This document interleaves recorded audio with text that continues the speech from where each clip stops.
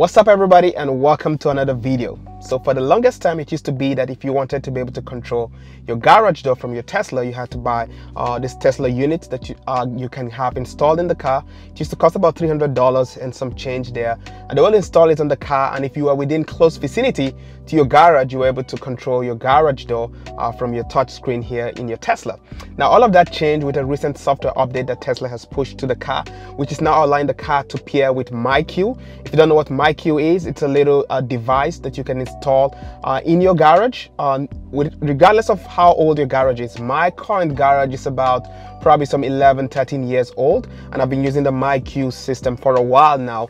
And what it does is once you put this device somewhere in your garage, you pair it with your garage door opener, and then you're able to control your garage door wherever you have access to the internet. So using a mobile device um, anywhere in the world, you can control your garage door, set up automations, connect it to other kind of IoT and smart devices around your house. Uh, they used to have support for like Alexa, Siri, and stuff like that uh, uh, back in the days. They recently took that out, but you can do all of that and control all of that from within your mobile device. So it's a recent Tesla software update that actually allows you to now pair your car with the MyQ app. Uh, the device itself is pretty cheap. They cost about $30 or so on Amazon. But for a limited time, actually, uh, this is actually free uh, to use. And even you get the device for free um, if you subscribe. I'm going to explain that in a little bit. So there's this software update and I'm going to show you how that works. All right, so what I have right here is my own MyQ device. And I already have this paired to my garage door opener. It's quite easy to do and they give you instructions on how to do that when you buy the device. So I'm not going to really cover that right here. And I normally just keep this somewhere in the garage. In my case, I keep it up right here and um, it works pretty well with the mobile device. So let's get into the Tesla and let me show you how to set this all up in the Tesla itself. All right, so now I'm in the Tesla and from the center console, um, you should see a little home icon right there to the top right. So if you click on that, it asks you to link MyQ account. So I'm just going to click on that and it's going to ask you to scan uh, the QR code. So initially when I set this up, I was looking for a QR code scanner from the MyQ app. But uh, if you're on an iPhone, it's actually, the, you don't use the MyQ app, but you use your actual regular iPhone camera to scan this. So I have my iPhone camera right here, so I can scan that and open. And this is going to open up the uh, MyQ app. So it's going to ask you to sign into your MyQ account, which you've already set up uh, prior to this. So I'll go ahead quickly and sign onto mine. All right, and then it asks you to authorize uh, the use of like Tesla to have access to your MyQ account. Uh, sort of, it's called they're calling this the premium access. So I'm just gonna go ahead and uh, authorize this. So and then right here, they're just telling you that you have a 30 days trial. Um, which is complimentary like I mentioned in the beginning of the video. And uh, after the try this trial um, they charge you three dollars a month to run this but we'll talk about that in a little bit. You only need to pay this premium price to control it from your Tesla. Uh, once you have the device itself it's actually free to use with your mobile app.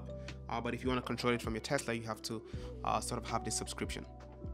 Alright, so now that I have that activated, as you can see right there on the center console, right away it recognizes that and then I am able to do several things right here. So initially, the first thing you probably want to do is set your uh, garage location. So I'm going to set this to my home address. And the moment I do that, it now gives me ability to have some automated controls in here. For example, I can say that I want the garage door to automatically open up whenever I'm sat within certain feet of the house.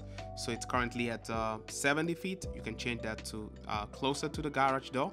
All right, so right now I'm approaching my house and as I get close to the feet that I've set, as you can see, there's a little pop-up there counting down to uh, the number of feet. And once that gets within the range, you'll see right now the garage door opens automatically by itself. This is a really, really cool and neat feature. I really love uh, this feature. It's very convenient to use.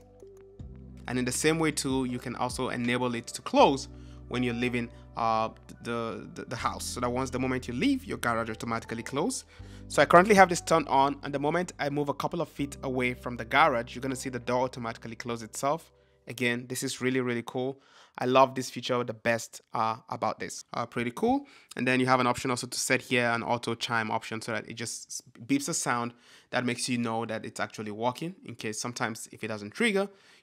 And then if you go to your center console right there at the top, you can also manually control this where you can uh, either close the garage or open it manually. All right, let's talk pricing for a second. By the way, if you're enjoying this video, a sub to the channel would be really, really, really helpful and appreciated. If you want to see more content like this, you can support the channel by subscribing. But the device itself, like I said, they have different ones, but it costs as cheap as $30 if you're just buying this off the market without Tesla to use, and which is a good home automation tool anyways. And then it seems like there's going to be a subscription fee to use this, about $3. Right now, they're offering it for free, I guess, because they just rolled this out. And they did say if you do subscribe to this, I guess whenever the subscription comes, you actually get the MyQ device for free. So you just subscribe the three dollars a month, and they send you the the little device, um, which again runs anywhere between thirty to fifty dollars on Amazon. But I can tell you that this is worth it so far. I would pay three dollars for this anytime. It just really makes sense, and then you get the additional uh, benefit of having uh, the MyQ app on your phone that you can control your garage door and connect it to other automations outside of your Tesla. So you're paying this three dollars not just uh, to control the garage door from your Tesla, but to have access to um, MyQ smart automation tool. So I really love it so far. I would highly recommend it. to check it out. And I uh, just wanted to show you guys that real quick. I'll catch you guys in the next video. Thank you for stopping by. Bye-bye.